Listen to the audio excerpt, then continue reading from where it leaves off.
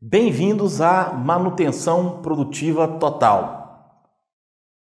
Esse método que nós vamos mostrar é um método absolutamente comprovado de eficiência e eficácia em termos de equipamentos. Então, o nosso ponto vai ser pensar na eficácia dos equipamentos. O que que uma máquina, seja uma linha, seja um equipamento específico, foi projetado para suportar dentro do método, dentro de um contexto produtivo.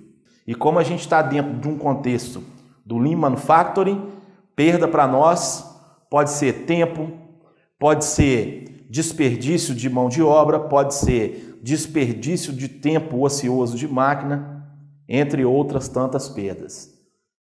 Então nós vamos passar passo a passo quais os tipos de perdas que o equipamento gera e o que que faz com que a eficácia operacional do equipamento ela seja substancialmente diminuída em função dessas falhas, dessas quebras, dessas perdas de velocidade, da perda de qualidade, entre outras que nós vamos detalhar.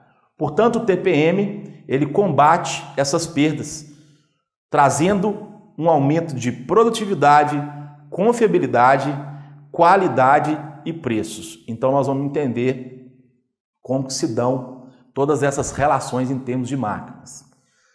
O TPM, a começar pela sigla, nós precisamos entender bem a sigla, porque o Total Productive Maintenance, ele não vem necessariamente acompanhado na tradução do pé da letra de cada uma dessas palavras. Exemplo, o T de total, ele está diretamente relacionado ao fato de envolver toda a organização. Então é de se supor que uma organização que dependa dos seus equipamentos, podemos citar como exemplo uma frota de ônibus, podemos citar como exemplo uma fábrica, podemos citar como exemplo uma mina, podemos citar como exemplo uma siderúrgica. Então, todos esses complexos, eles vão ser caracterizados por uma enorme quantidade de equipamentos. Pode ser também uma frota de aviões, são, ou seja, as empresas dependem desses equipamentos para realizar os seus processos, os seus principais processos produtivos, seja ele nessa cadeia de fabricação, seja ele nessa cadeia de serviços que atende a um usuário final. Então, todas essas características são características que demandam com que os ativos industriais ou os ativos é, específicos eles tenham um determinado resultado em termos de desempenho. E esse resultado, ele vai depender então, essa palavra total significa toda a empresa envolvida em prol dos equipamentos. E quando a gente fala de todo, todos os setores envolvidos numa empresa em prol do equipamento, nós estamos falando até marketing, nós estamos falando de engenharia, nós estamos falando de suporte, nós estamos falando de RH e certamente nós estamos falando de todo o processo que envolve a produção. Né? E a produção, nesse caso, que está diretamente relacionada aos equipamentos como um todo. Portanto, esse total é toda a empresa voltada para orientação dos equipamentos em termos de resultado operacional. Então, a nossa grande função é maximizar este resultado operacional. Esse é o grande objetivo da palavra total. O P, que vem de produtividade, que vem de produção, é o que a gente busca, ou seja, é uma produção com zero defeitos. E zero defeitos para nós, o que, que vem a ser? É uma metáfora de entendimento que não é permitido as falhas dentro de um contexto operacional. Portanto, zero defeito. Zero defeito e, naturalmente, zero defeito vai trazer um incremento de produtividade, um incremento de qualidade, portanto, vai se maximizar aquilo que o equipamento foi desenvolvido e projetado para realizar. Então, esse productive, productive, ele realmente ele traz esse conceito de, de produção, de produtividade, ou seja, maximizar a performance operacional dos equipamentos.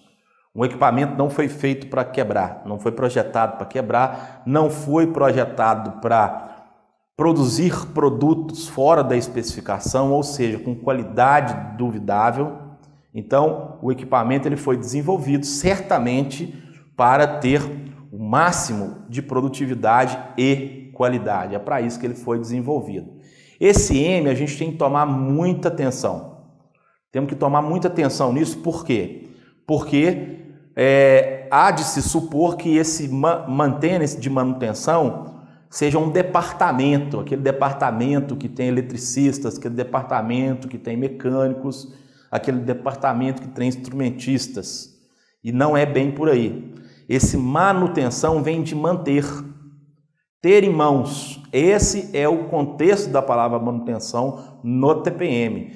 Então a manutenção aqui para nós, entre aspas, é a saúde das máquinas. Saúde de máquinas. Ou seja, é um conjunto de técnicas e ferramentas para que toda empresa cuide, então cuide de cuidar de suas máquinas e equipamentos.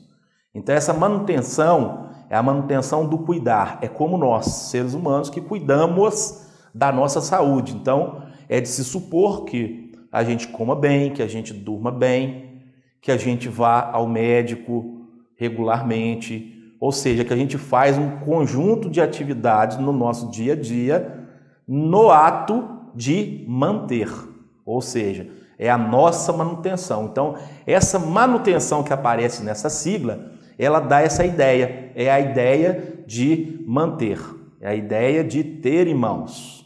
Portanto, não é um departamento da empresa.